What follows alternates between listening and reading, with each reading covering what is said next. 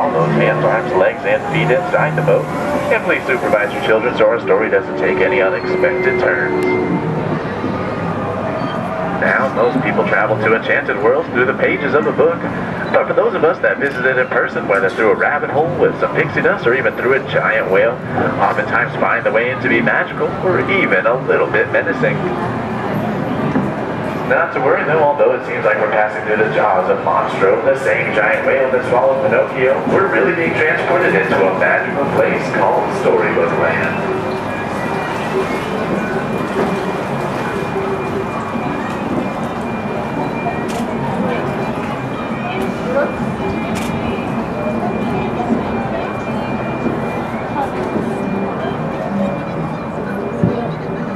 Our story is going to begin with a once upon a time, but in this case, it's the cave coming up on our left-hand side of the big bad wolf. Now, he's always chasing after the three little pigs who luckily live all the way on the other side of the canal. One lives in a house of straw, one in a house of sticks, and one lives in a house of 100% wolf-proof bricks. Oh, that's so cute.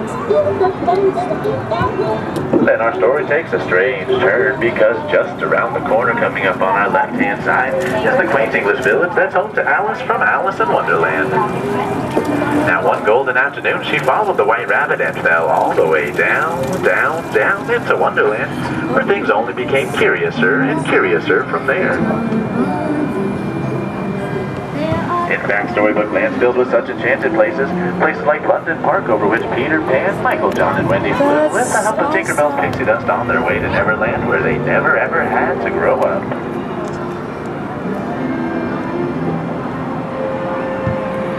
And there's places like Agrabah, a city of mystery and enchantment, where a street rat named Aladdin first bumped into Princess Jasmine in the marketplace and stole her heart. Now, although the two are from different worlds, with the power of love and with the help of a genie, they were married and to this live in the Sultan's palace of Topsville.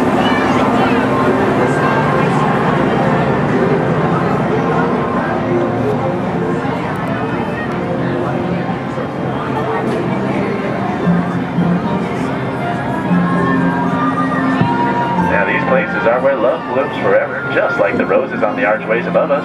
The same ones that Aladdin and Jasmine flew over, sideways, and under on a magic carpet ride into a whole new world.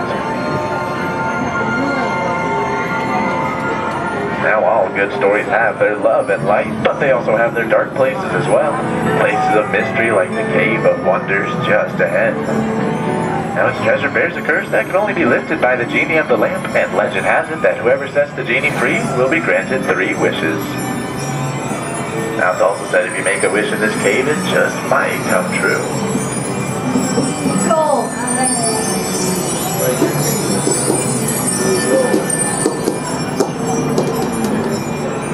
Sorry.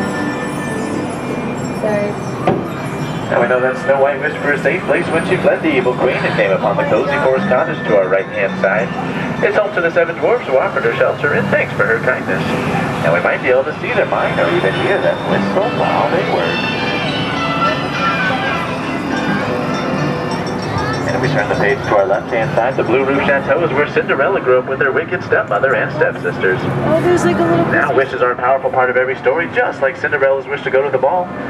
Fairy godmother granted that wish, but when she didn't return by midnight, her coach turned back into a pumpkin where it still lies on that bridge today. Now, although magic has its limits, luckily love does not, and Cinderella now lives happily ever after with her Prince Charming.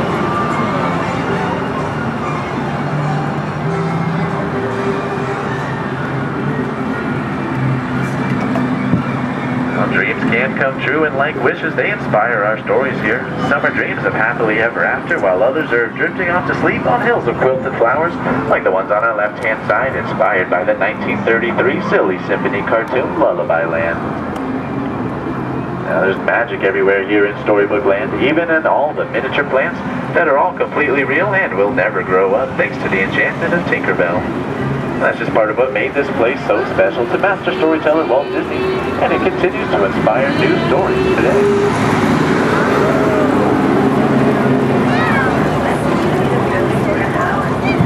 Some of these stories like that of The Wind in the Willows with Moley Rat and Mr. Toad, whose stately manor's coming up on our left-hand side. But it doesn't look like anyone's home today. He must have taken his motor car out on a wild ride, headed nowhere in particular. Or there's stories of magic like that of Arendelle beneath the snowy mountains just ahead. Although Elsa fled to the ice palace atop the fjord, her sister Anna just couldn't let her go.